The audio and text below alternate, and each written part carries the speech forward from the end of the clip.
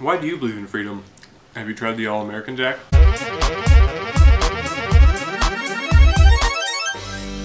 Hey, I'm Cameron. I'm Clint. It's not new, but it's back. Today, we got the All-American Jack. God bless America. Except it's not all American.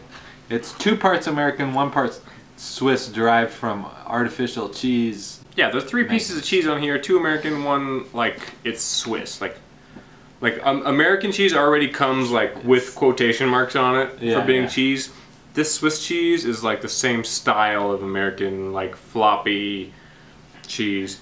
We got two beef patties on here, lettuce, tomato, ketchup, mustard, the onion mayo sauce, which is uh, an underrated part of Jack in the Box products comes on the sourdough jack. It's kind of what makes that burger really good. We got pickles on here. This is a double patty burger for $3.99. $4.99 in the combo. That's how you speak American. Are you ready to try this out? I am ready. Let's do it.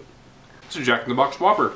I was just thinking it tastes very all-American fast food burger. You know what? This is like you move to a new city and there's a fast food restaurant you've never heard of, drive through.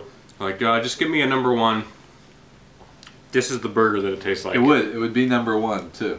It's funny that you say go into a different town because it kind of tastes, tastes like the road. Like you're You know what I mean? Like you're on a road trip and you stop and get a burger somewhere and there it is, all-American fast food burger. So, the All American Jack's a good name for this Jack in the Box. Mm-hmm. You know what you're doing. Even though there's Sw- the Swiss are involved, maybe. It is like the American version of Swiss cheese.